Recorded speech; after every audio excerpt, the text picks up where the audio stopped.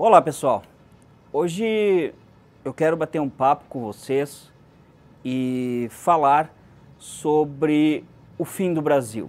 Será mesmo que é o fim do Brasil? E eu não sei se vocês repararam, mas eu coloquei Brasil escrito em Z, né, com Z ali no, ao invés do, do S. É, muita gente me pergunta por que, que eu faço isso às vezes, e eu, falo, eu faço isso às vezes porque eu não me considero realmente é, vivendo no Brasil, né? Eu não vivo no Brasil, eu utilizo o Brasil como uma, uma bandeira, é, algumas bandeiras no Brasil, é, de acordo com a teoria das bandeiras. Se você não conhece a teoria das bandeiras, você pode clicar aqui no link abaixo, você pode baixar um e-book gratuito é, coloque seu nome e o seu e-mail, o e-mail correto, porque o link vai direto para o seu e-mail. Para você baixar, demora uns 15 minutos e você vai baixar um, um e-book é, com umas 30 páginas explicando o que é teoria das bandeiras. E essa teoria das bandeiras realmente mudou a minha vida, tá? Então, é, você vai continuar utilizando do Brasil, é, das coisas que o Brasil tem de melhor. E mesmo que o Brasil, mesmo que seja o fim do Brasil, é, algumas coisas você vai poder utilizar. É, antes da gente entrar nesse assunto, é, eu preciso contar é, uma história para vocês. É, eu sei que tem, vai ter várias pessoas que vão reclamar, é, vai estar tá cheio de comentários aí no YouTube dizendo que, que eu demoro para entrar no assunto, mas é importante vocês entenderem o porquê das coisas. E se vocês quiserem colocar em 1.5, 2 a velocidade, 2.5, o que vocês quiserem, é só passar ou então vai passando. Se vocês não gostarem é, do vídeo, ou então simplesmente vai embora, entendeu? Vocês não precisam estar aqui no canal, tá bom? Bom, a história é o seguinte, é, eu sempre não me identifiquei assim com o Brasil totalmente, desde a infância, desde que meu pai colocou é, uma TV a cabo dentro de casa. Isso foi quando eu tinha uns 16 anos, hoje eu tenho 43. E desde que ele colocou a TV a cabo em casa, eu não assisti mais Globo, não assisti mais novela, não assisti depois Malhação, depois veio o nos anos 2000 ali veio, isso foi em 96, 97 ali. Depois veio o Big Brother, nunca assisti essas porcarias, tá bom? E eu sempre fui um crítico da TV Globo desde aquela época, quando eu tinha 16 anos. Eu não aceitava que o brasileiro assistisse Fantástico, Faustão, novelas. Novelas, é, é, elas tentam manipular as pessoas e desde aquela época eu já dizia isso para os meus pais. Meus pais não entendiam o que eu estava falando. E as pessoas não entendiam. E as pessoas assistiam, sim, novelas e assistiam Big Brother é, falando que, ó, oh, o que, que eu vou assistir? Não tem nada para assistir, além dos filmes dublados né? que a dublagem ela realmente tira a interpretação do artista e também modifica muita coisa ali na interpretação, porque é uma interpretação é, do dublador, tá bom? É, dito isso, eu fiz uma faculdade de turismo justamente porque eu queria sair do Brasil, sem entender nada do que eu estava fazendo. E eu fiz o meu primeiro intercâmbio em 98, antes dessa faculdade, em Los Angeles, quando Los Angeles era bom e percebi que, cara, era perfeito Los Angeles, né? Perto lá, fui primeira vez na Disneyland, não, não é Disney World, é Disneyland, a primeira Disney, achei perfeito ficar um mês lá e tal. Foi durante o segundo grau, o último ano do segundo grau na época, é, ensino médio, né, que se diz hoje em dia, e achei, achei maravilhoso. Voltei para o Brasil, fiz a faculdade de turismo em Porto Alegre, eu estava em Bauru nessa época, fui para Porto Alegre, fiz a faculdade de Porto Alegre, é, onde eu nasci, e achei maravilhoso, eu queria ir de novo para Los Angeles. Então fiz toda a faculdade de turismo, é, no último ano de turismo eu fui para o Canadá fazer três meses de intercâmbio para aprender inglês. É, e aí foi a primeira vez que eu percebi que o Brasil tinha um problema. Foi a primeira eleição do Lula. Fazendo um parênteses aqui, quando eu fui em 98 para o intercâmbio, eu percebi ali o plano real, né? Que eu morei em Brasília naquela época do, do confisco e percebi que em 94, eu estava em Brasília ainda, tinha arrumado Né? A economia foi sensacional. Eu ainda acho que é, alguns economistas daquela época tinham ter ganho o, o, prêmio Nobel de economia. E quando eu fui em 98, o dólar estava 1 para 1. Estava já para mudar, né? Para é, começar a desvalorizar a moeda e foi em 99 e 2000 que desvalorizou. E em 2002, quando Lula assumiu, eu estava bem na hora indo para o Canadá, estava esperando é, um valor e o Lula assumiu. Quando o Lula ganhou a eleição, foi para quatro, né? Quatro alguma coisa. E isso seria mais ou menos, hoje em dia, colocado assim no, no tempo, seria sete. 7,50, mais ou menos assim, valor presente. Imagina é, qual foi a reação do mercado, né? E eu lá no Canadá tentando é, tentando gastar o mínimo possível com aquele dinheiro que eu tinha. É, não era rico nem nada, mas eu tentei estudar inglês, né? Não, tem, não queria trabalhar. Mesmo assim, eu tentei alguma coisa ilegalmente mesmo, né? Fazer o que naquela época? Não consegui porque era inverno no Canadá. Então era só dezembro, janeiro, fevereiro e um pouquinho de março. Voltei para o Brasil e percebi que aquilo era um absurdo. Toda eleição existia uma instabilidade no mercado, na moeda, e eu percebi que isso era muito sério. Em 2005, é, desculpa aí o barulho do avião, eu estou em São Paulo, vai passar. Vai passar rapidinho. Estou em São Paulo, aqui a gente teve o evento. É, a gente está indo para o Chile agora na quarta. É, eu passei uh, por isso aí e em 2005, em 2006, já depois da, da faculdade de turismo, eu fiz uma, um curso no Senac de imóveis, tá? Para vender imóveis, para tirar o Cresce. Eu tirei o Cresce, cresci lá em, no Rio Grande do Sul se chama, e eu podia vender imóveis.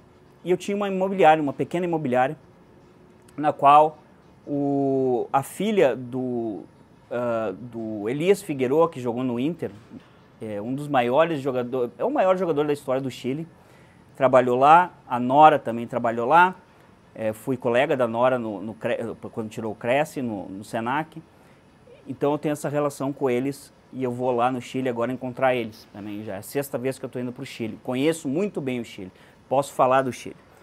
É, então eu fui, é, em 2005, 2006, com o dinheiro que eu tinha na imobiliária, já construído quatro casas no, no litoral gaúcho, então eu tinha bastante dinheiro para poder viver 2006, 2007 na Califórnia sem trabalhar. E fui estudar produção de cinema, então achei o máximo também, né? E a gente já estava ali em pleno governo uh, Lula, né? Segundo governo Lula. E aí eu percebi uma coisa incrível, né? A Califórnia ainda era boa também. E percebi também que o, o governo Lula estava surfando nas commodities, que a China estava comprando tudo. A China estava crescendo 10% ao ano. Então não, não importava o que o governo Lula estava fazendo, gastando, roubando, fazendo o que queria. E mesmo assim, estava crescendo, o Brasil estava crescendo a 6, 7, não sei, não me lembro direito quanto que estava crescendo, mas estava crescendo e o dólar estava estável no Brasil. Beleza, estava ótimo.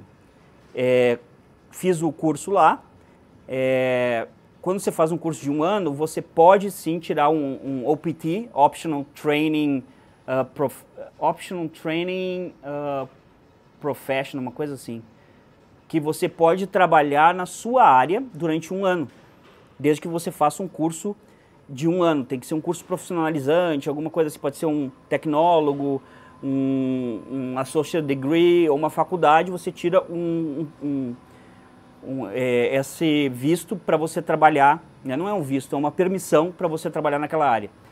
E não tinha, eu não consegui trabalhar no cinema, eu só consegui um estágio na produtora do Ben Affleck.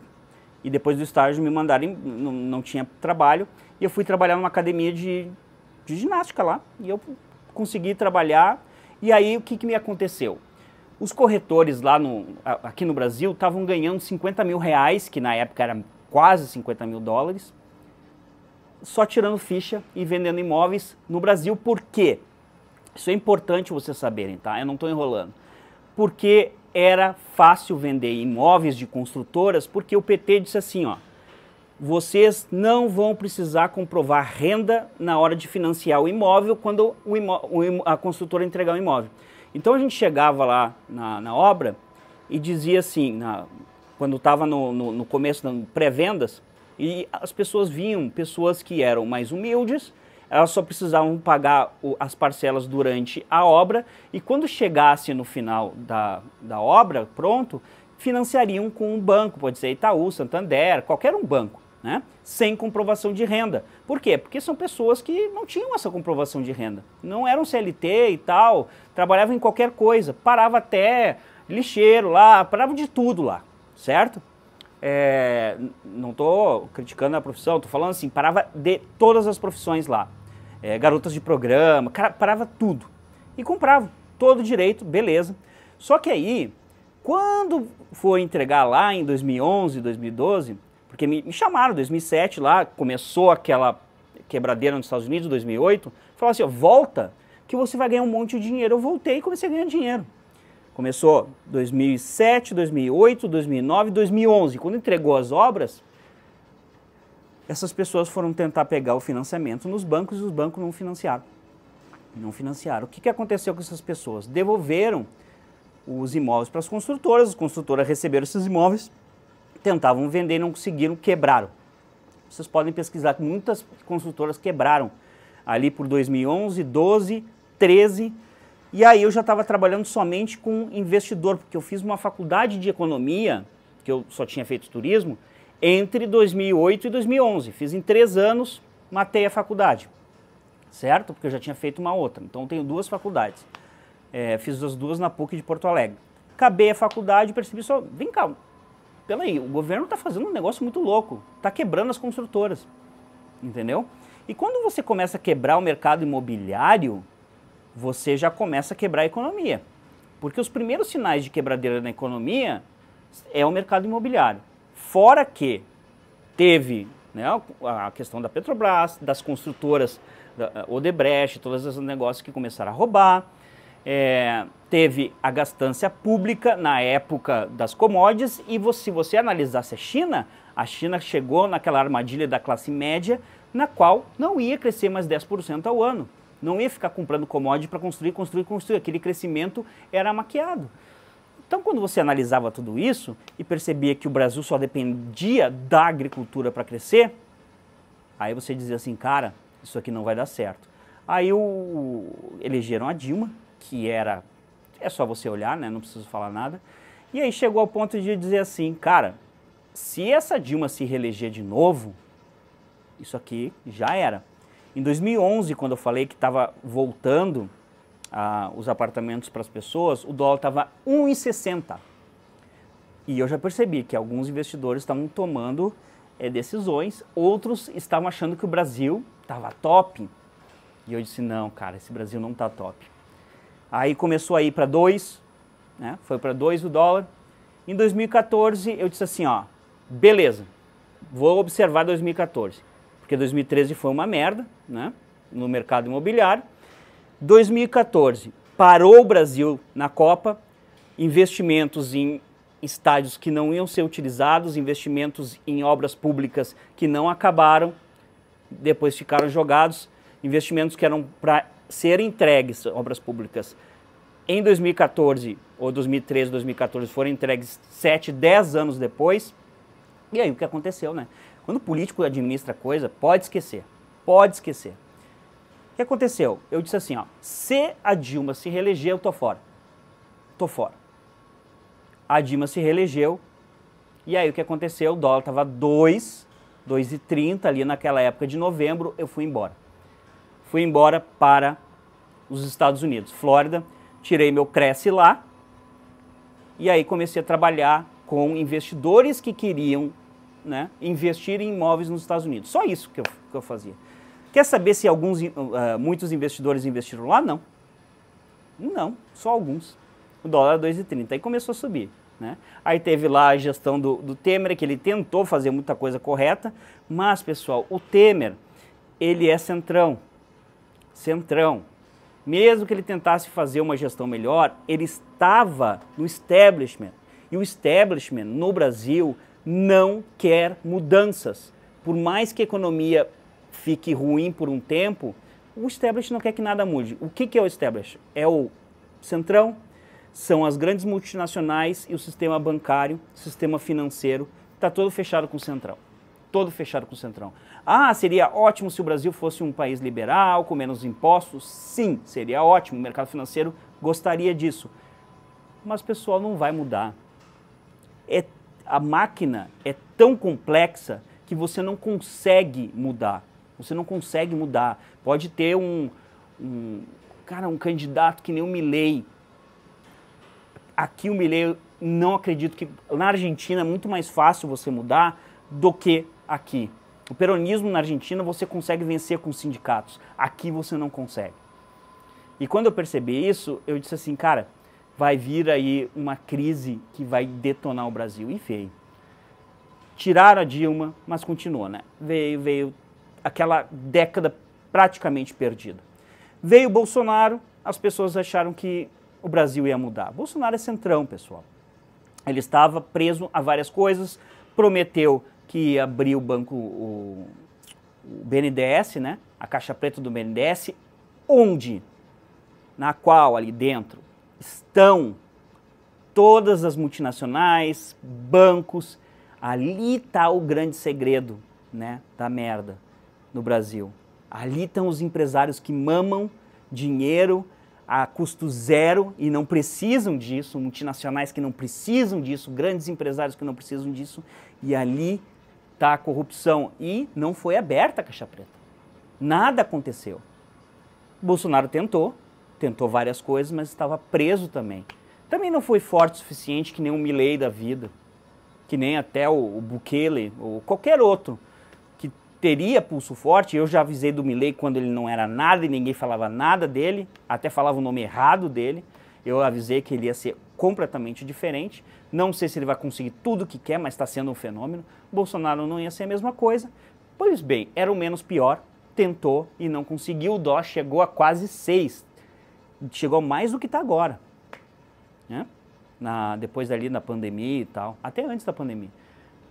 Teve a pandemia, que não posso falar no YouTube e tal, né? que a gente não pode nem falar no Brasil. Se vocês olharem meus vídeos, alguns vídeos só tem mil, dois mil views, com um canal de 105 mil. Isso daí é Sharon Ben. Isso daí é não querer passar o meu vídeo para vocês. Olha onde é que a gente chegou no Brasil, pessoal. Deixa eu tomar um café aqui. Isso é censura. Daí, eu estava tentando vender, vi que os, os, os empresários não estavam fazendo isso. E aí eu disse, vem cá, como é que estão os outros países no mundo? Também, decadência, alguns estados americanos em decadência. Eu estava olhando e falei, pô, a Flórida não, não, é, não é essas coisas, né? O, o, Trump ganhou, eu achei legal, mas tinha aquela chance, quase que a Hillary Clinton ganhou, cara. Tinha muita coisa errada ali, aí eu pensei, cara, vou, vou começar a estudar um outro negócio que apareceu para mim que é a teoria das bandeiras. E eu sugiro vocês a dar uma olhada nisso, aqui no e-book, porque a teoria das bandeiras mudou minha vida. Eu pensei assim, cara, não posso trocar um país pelo outro. É trocar um problema pelo outro. É você querer ser patriota de um país e depois trocar para ser patriota de outro país. É por isso que eu critico alguns youtubers. Você não pode pegar e dizer que o Uruguai é perfeito, porque se você mudar para o Uruguai e o governo mudar, por mais que seja um país é, com uma democracia é, como é que eu posso dizer, que, que, que consegue trocar os governos e as coisas permanecerem a mesma coisa, mais estável, as coisas mudam e pode mudar para a esquerda total, pode se estragar. Você não pode pegar e mudar de um avião de novo, de um país para o outro com toda a sua vida, com todos os seus filhos, com todo o seu investimento, com todos os seus documentos. Você tem que ter várias opções, que nem eu tenho. Já cansei de mostrar aqui. Desculpa, se torna repetitivo, mas eu tenho que mostrar. Eu fui lá na Flórida e consegui o meu green card. Tá aqui minha driver license lá e isso aqui me permitiu que eu pudesse ter uma conta nos Estados várias contas nos Estados Unidos. Eu tenho a minha empresa nos Estados Unidos com contas, eu tenho a, a, as minhas contas pessoais, eu tenho o meu, o meu cartão de crédito, American Express, eu tenho outros cartões de crédito, né? Aí eu fui. Aí o que, que aconteceu? Eu vou dizer assim, o Lula saiu da prisão. Aí o que, que eu pensei? Só, só, um pouquinho, cara. Se o Lula saiu da prisão, agora o José de Ser saiu da prisão, cara, o STF atuando do jeito que está, o que, que vai acontecer com o Brasil? Vocês acham que não está acontecendo nada com o Brasil? Está muito pior do que aconteceu na época que a Dilma se reelegeu. E olha a década perdida que foi. Aí eu pensei assim, cara, se o Lula saiu da prisão, o Lula vai ganhar a eleição. Não importa o que vocês pensem ou não. Lula vai ganhar. E eu disse isso no meu canal. Lula vai ganhar a eleição. A gente fez um monte de podcast. Eu fiz Lula vai ganhar a eleição. Eu tinha 2 mil seguidores, 3 mil seguidores. E tomei tomate, falaram mal de mim, me xingavam, porque as pessoas são assim. Né? Inscrito, quando não concorda com você, te xinga. Porque você tem que falar algo que o inscrito concorde. Senão, você é um bosta. Certo? E aí, eu pensei o seguinte: já que os outros países também não estão bem, a esquerda está dominando, os países em desenvolvimento, Austrália, Canadá, alguns estados dos Estados Unidos, Europa toda, tudo socialista, eu vou, eu vou oferecer uma coisa diferente. Eu vou oferecer a teoria das bandeiras baseado em alguns países da América Latina que estão bem ou que vão ficar bem através da minha análise. Ninguém estava fazendo isso. Ninguém estava fazendo isso no Brasil. Obviamente, o, nos Estados Unidos, alguns, é, alguns especialistas em internacionalização americanos ofereciam isso para americanos, o que era muito mais difícil para um americano. Imagina um americano sair, um europeu sair da Europa, um americano sair, um canadense sair do seu país para ir morar na América Latina ou na Ásia. Era isso, ou Dubai. Era assim que era. Eu disse, cara, eu vou oferecer isso para o brasileiro. E o brasileiro entender que ele precisa sair do Brasil para viver no Panamá, no Uruguai, na Costa Rica, no Paraguai, no Chile, na Argentina, cara, isso não entrava na cabeça do, do brasileiro. E foi aí que eu bati. E esses youtubers nem pensavam, nem. Cara, os caras estavam trabalhando em outras coisas. Para agora dizer, é, vem nos meus comentários dizer que eu sou mentiroso sem fronteiras, que eu sou isso, que eu sou aquilo, né, que eu minto, que eu não falo a verdade. Pessoal, o meu canal tem mais conteúdo de graça. Tem muito conteúdo de graça aqui, gratuito. Tem o, o, o, o, o e-book gratuito da Teoria das Bandeiras, mas a gente precisa, a gente, nós somos capitalistas e a gente vende curso, a gente vende os processos todos, a gente abre conta bancária, a gente é, faz residência, a gente faz cidadania, a gente abre, é, abre empresas. Por quê? Porque a gente tem que ganhar dinheiro, uma empresa tem que se sustentar, a gente tem que ofertar esse produto para vocês de uma forma melhor possível. Então o que, que eu percebi? Eu vou ofertar Panamá, Paraguai, vou ofertar Costa Rica, vou ofertar Uruguai. Uruguai a gente é campeão, e a gente vai aumentar os países. Por quê? São países que eu acredito que ou estejam melhor que o Brasil ou que vão ficar melhor que o Brasil. Porque o Brasil só vai cair a partir de agora. E eu vou explicar por quê. Eu, o que, que eu fiz para ofertar esses países? Eu falei que o Lula ia ganhar. E antes do Lula ganhar, eu fiz o skin in the game, que muitas pessoas aí não fazem. Elas simplesmente mudam para um país e vão lá trabalhar com alguma coisa porque ajudando o brasileiro porque eles não têm emprego. Por isso que eles fazem isso. O que, que eu fiz? Eu fui lá, além de ter o green card, eu mudei para o Paraguai, não mudei para o Paraguai, minha base é no Paraguai, meu apartamento alugado, como meu escritório lá, é tudo no Panamá, desculpa, é Panamá. Então fui lá, tirei tá, os meus documentos no Panamá, minha carteira de motorista, agora é, isso aqui é residência provisória de dois anos, a gente vai renovar para permanente agora em agosto, e isso aqui é permissão de trabalho, no Panamá. Se você fez um processo no Panamá pela uma oferta laboral pela sua empresa e não tem permissão de trabalho, venha falar com a gente porque você foi enganado. Daí eu fiz a minha residência permanente no Uruguai e no Paraguai. Tá? E aí eu fui fazer, fui falar para as pessoas o seguinte: eu posso te ajudar, porque eu tenho empresas no exterior, no Panamá, no Brasil, continuo com a minha empresa que é uma imobiliária, sem corretoras, mas eu vendo imóveis em Balneário Camboriú, eu, é, com construtora. Eu posso vender imóveis é, em gramado, certo? Eu posso vender parceria com qualquer imobiliário no Brasil que queira fazer parceria comigo. Eu tenho os meus clientes, eu posso vender imóvel no Brasil inteiro se eu quiser, com parceria ou através de construtoras. Essa é minha empresa no Brasil. Além de também fazer consultorias no Brasil. Além de nossos contratos de residência, os contratos são feitos no Brasil para te dar segurança, que os outros também não fazem isso.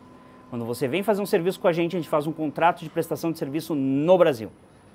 Certo? E a gente, todos esses países, a gente tem advogados locais, mas você faz o contrato com a gente no Brasil. Certo? Então, o que que eu fiz? Eu fiz o Skin the Game e comecei a ajudar as pessoas, principalmente no plano B, que é o curso que a gente tem também, que é o maior curso de internacionalização do Brasil, que ajuda você a entender tudo isso que eu falei, além de saber mais, coisas sobre vários países. Mas qual é o, o que é campeão de venda, pessoal? É isso aqui, ó. É a, a residência permanente no Uruguai, a cédula de identidade no Uruguai que te dá direito a você estudar medicina, por exemplo, na, na universidade pública, você acessar a saúde pública, você morar quanto tempo você quiser no, no Uruguai mas é uma opção, não uma obrigação. Você pode ir, como pode ficar no Brasil, como isso aqui, como plano B no seu bolso. Caso você quiser morar no Brasil até acontecer uma coisa muito grave, você pega a sua família se acontecer uma coisa muito grave, entra no carro e eles não vão proibir você de entrar. Se fosse aquela crise sanitária que teve, que fechou as fronteiras, era para turista brasileiro. O brasileiro não podia entrar, mas você que tem a residência, você pode entrar. Você vai lá, passa por toda a fila de turista que está trancado, você diz assim, eu sou residente, quero entrar. O Uruguai não vai proibir. Que nem o Green Card nos Estados Unidos. Lembra que os Estados Unidos não aceitavam o brasileiro entrar? O Green Card, você entrava. Eu saía e entrava a hora que eu queria. O Panamá é a mesma coisa, você não precisa viver no Panamá. Você pode tirar a sua residência no Panamá, seja um aposentado, seja o Panamá Itália, se você é italiano, seja um investimento de 200 mil dólares ou de 300 mil dólares para o qualificado, ou seja uma oferta laboral da sua empresa contratando você mesmo, você pode tirar e continuar vivendo no Brasil. Você só precisa viajar, entrar lá e sair de vez em quando, certo? Lá vem o avião de novo. Mas enfim, deixa passar um pouquinho, deixa eu tomar um café aqui.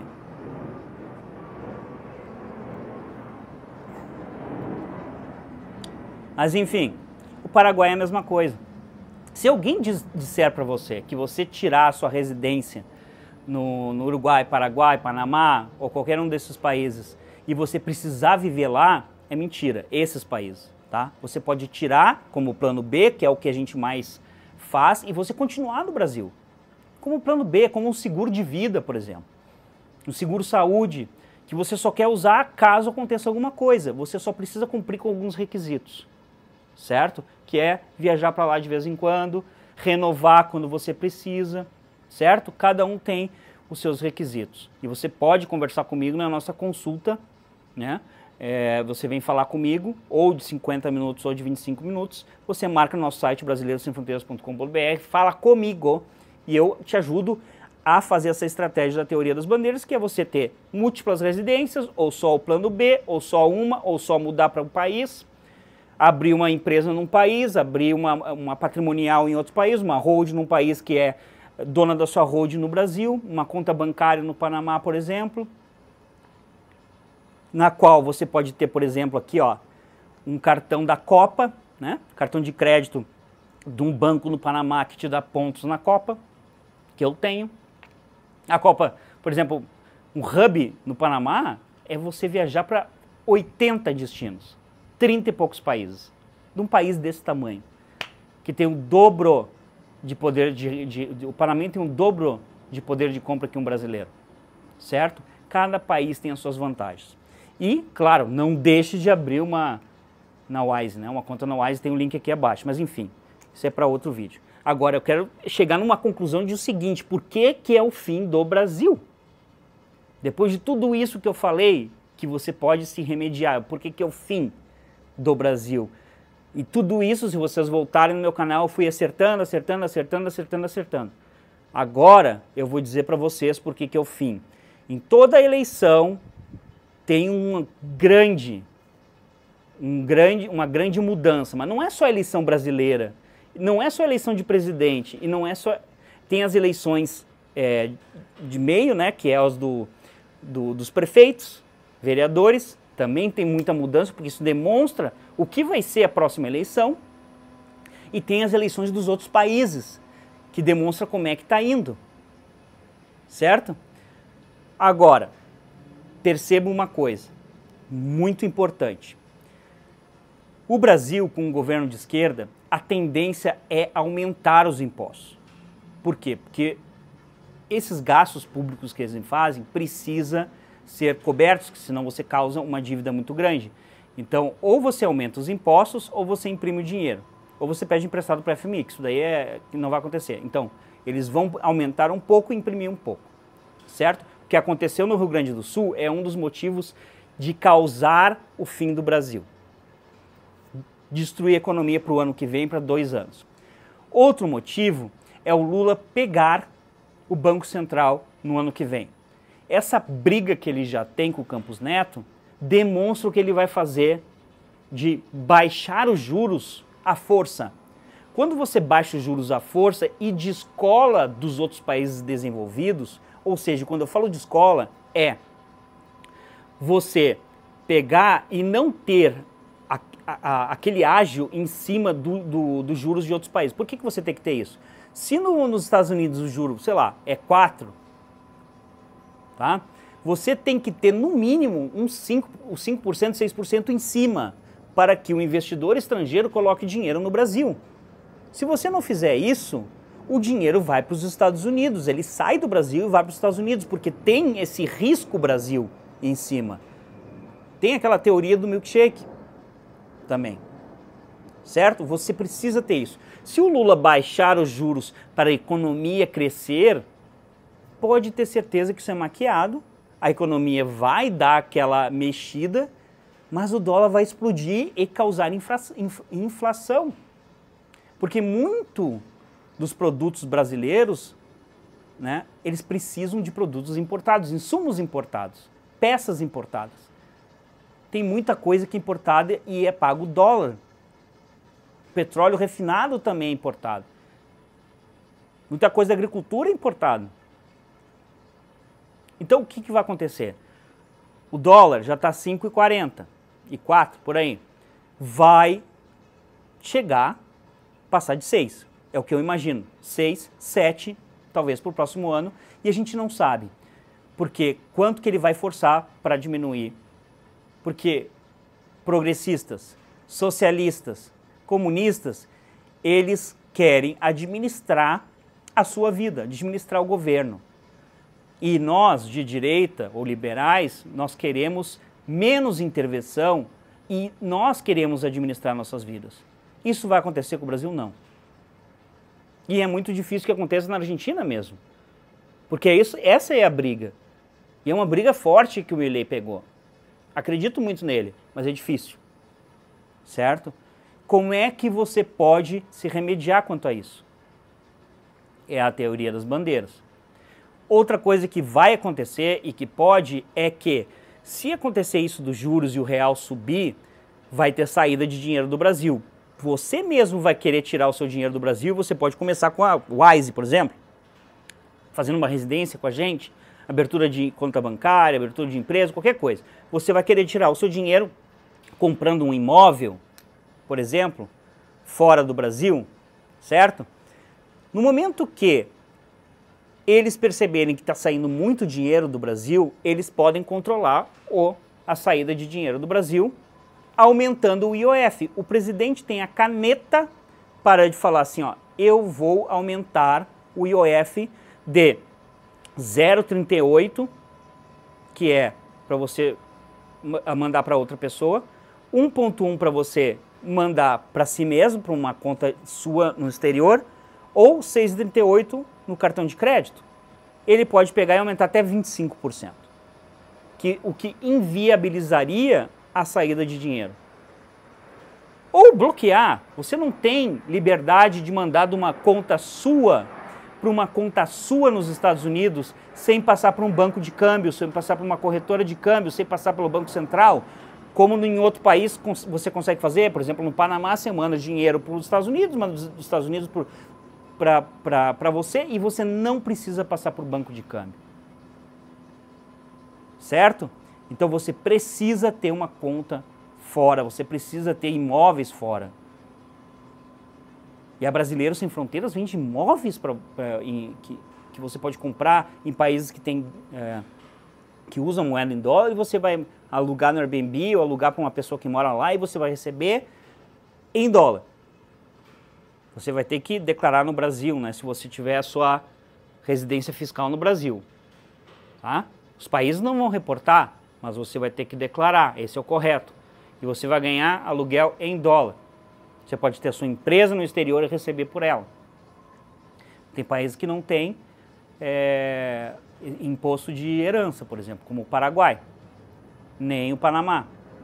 Então é assim, você não pode esperar, como eu disse é, para várias pessoas em 2014 e 2015, e ninguém me escutou. Pouca gente me escutou que o dólar estava 2. Você não pode cometer o mesmo erro de 10 anos atrás, porque é muito fácil muita gente pegar agora, é, sei lá, news, entra lá no, no jornal o Globo, entra na CNN, muito fácil as pessoas olharem agora e falarem, ó, oh, olha o que vai acontecer aqui, olha o que já está acontecendo, olha o que PT fez e tal, mas eu queria ver essas pessoas em 2014 falando isso como eu falei, em 2015 na leva das pessoas que saíram naquela época. Ou melhor, pessoas que saíram quando o PT assumiu em 2002. Ou quando Lula se reelegeu, ou quando a Dilma se, se elegeu. Isso que é bizarro. Essas pessoas, elas só são papagaio. Eu já venho avisando isso há tempo e as pessoas não querem acreditar, as pessoas querem se cegar, só, botar a mão no, no, nos, nos ouvidos e deixar as coisas acontecerem de novo. O dólar vai chegar a 10, eles vão impedir que você tire o dinheiro do Brasil e você vai se ferrar. O seu poder de compra vai cada vez diminuir, como aconteceu. Aí vem o, o, os espertalhão no canal e diz assim: ah, o Uruguai é muito caro. É muito caro para você. Porque o dólar já foi 1,1 no Brasil. Já foi um, já foi menos. De, de, já foi 90 centavos no plano real. Você chegava no Uruguai e era mais rico que o uruguaio. Agora, você chega no Uruguai e não consegue pagar um restaurante. Por quê? Porque você ficou pobre devido a políticas públicas que o PT faz. E o establishment, não só o PT, mas o centrão. Você é pobre porque você quer, porque você continua no Brasil. Se um americano vai no Uruguai, um canadense, ele acha barato. Barato. Se ele vai no Paraguai, se ele vai no Panamá, ele acha mais barato. Pense nisso. É você que está tomando essa decisão. Ah, eu não posso sair do Brasil, não sei o quê, porque eu tenho uh, meu, meu pai que eu tenho que cuidar, eu, eu tenho meus filhos que precisam. Eu, eu não sou rico. Beleza. Então tá. Então faz o seguinte, primeira coisa que você vai fazer é uma conta Wise, para você botar dinheiro fora. Lá, em dólar, euro e até em libra. Faça isso, tem um link aqui na descrição. Primeira coisa que você vai fazer. Segunda coisa que você vai fazer, se você tem um planejamento, se você tem um dinheiro, não precisa ser comigo, tá? Se você quiser fazer lá com os bundão lá na, no, no Uruguai, só tome cuidado. Ou no Paraguai, ou qualquer outra pessoa, tem escritórios honestos, tá? Advogados honestos, tem sim, e tem os nossos concorrentes, que, dois concorrentes nossos que são muito bons.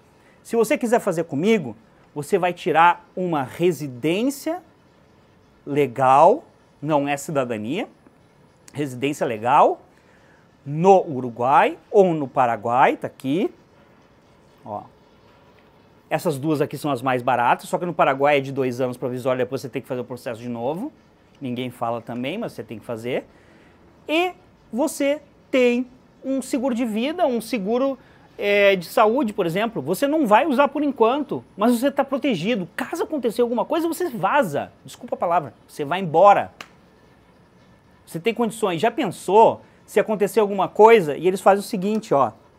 não vou mais emitir isso aqui. Eu sugiro que pelo menos você tente já ver se você tem condições de é, conseguir um outro passaporte. Eu já estou atrás disso para minha esposa. É, a minha parte alemã é difícil. A, a Alemanha é foda, né? A Alemanha não quer por ancestralidade, a não ser que seja muito recente. Eu quase nasci na Alemanha, não ia ser alemão. Então eu só tenho isso aqui, eu estou atrás e você pode conseguir por residência.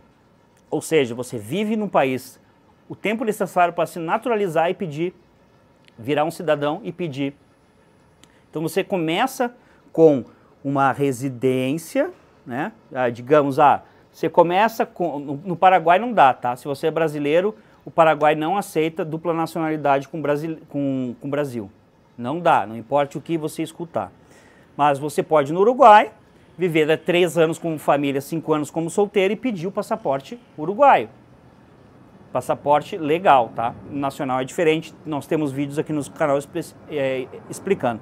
Mas de qualquer forma, eu sugiro para você que você tire esse documento simples no Brasil, que é a sua cédula de identidade civil, diferente da de conselho. Eu tenho o meu de economia, tenho, mas não é essa que eu estou dizendo para você tirar, é essa aqui.